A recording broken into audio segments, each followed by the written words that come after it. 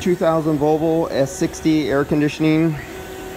Going back to the one hose system, or actually I went two hose system on here because I have one hose for the refrigerant.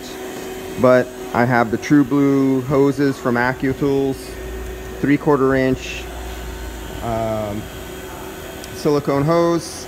Then we have the Appion adapter here.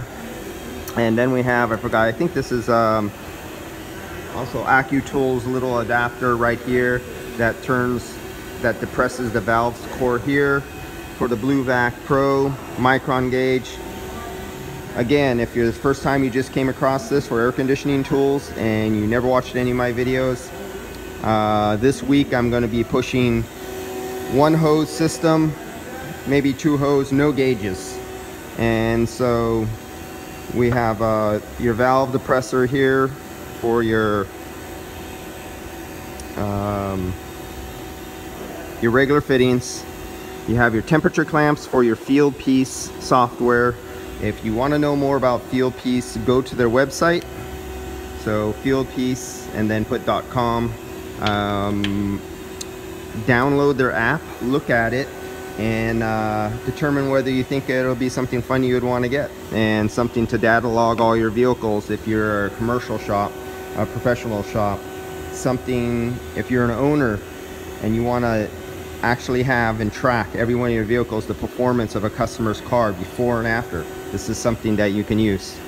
All right so right now i'm got down to 246 microns. I am going to shut off the vacuum source to this so i can put on the refrigerant. The refrigerant i want 700 grams so let's zero this out zeroed that's off the wireless scale going up here. I'm going to turn it off and on right here.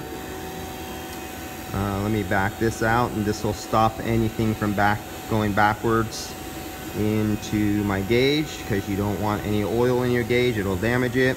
I'm going to turn off the vacuum source. Turned off the vacuum source. Now the vacuum source is off.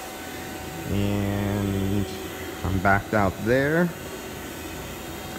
Let me back that out.